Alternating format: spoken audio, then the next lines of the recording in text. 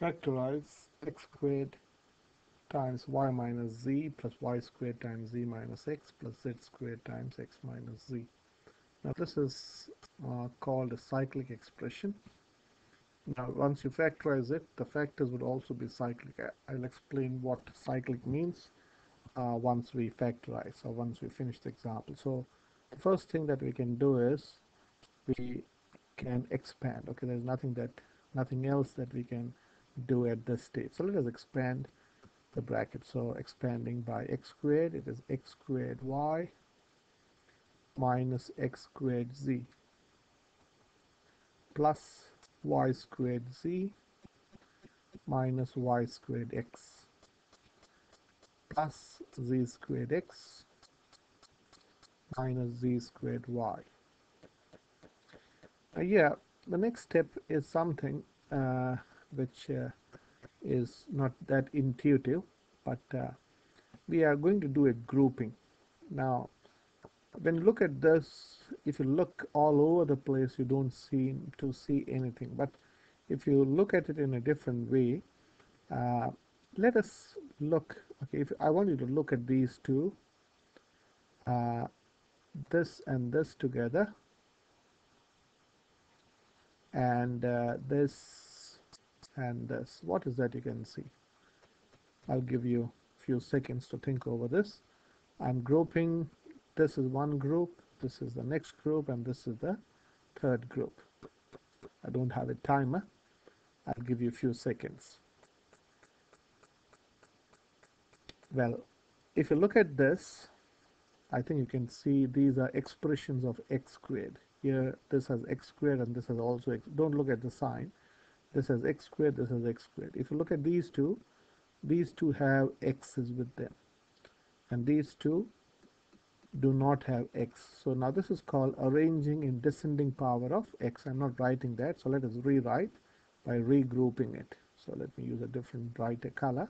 So let me rewrite this same thing x squared y minus x squared z so this first group is terms of x squared. Now I'm going to write the terms of x. So I'm going to write minus y squared x plus z squared x. And finally, this is a group of x squared, this is a group of x, and finally, this is a group without x. So this is called grouping in descending powers of x okay now it is simple what is what is common in the first group. So this is the first group this is the second group and this is the third group. Now we're factorizing by grouping. Okay so in this group x squared is common. So you have x minus z. Here minus x is common. So you have to be super be careful here. So general you may write x squared plus suppose if you let me write x squared plus z squared now this is wrong because if you expand if you expand this minus you will get minus y squared x. But if you if you expand with minus x here you'll have minus z squared x. Now to have this plus I have to change this plus to minus. Now this is where most of you can do wrong. This has to be minus.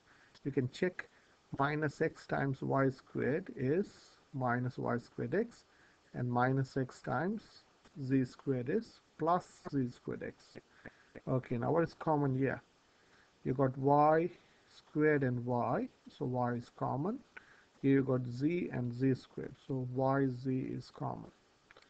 So from here y minus z. Okay so the next step would be this will remain as it is.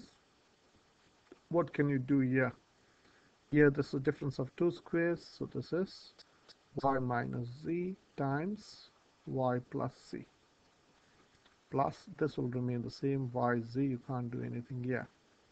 Now what is that you can see?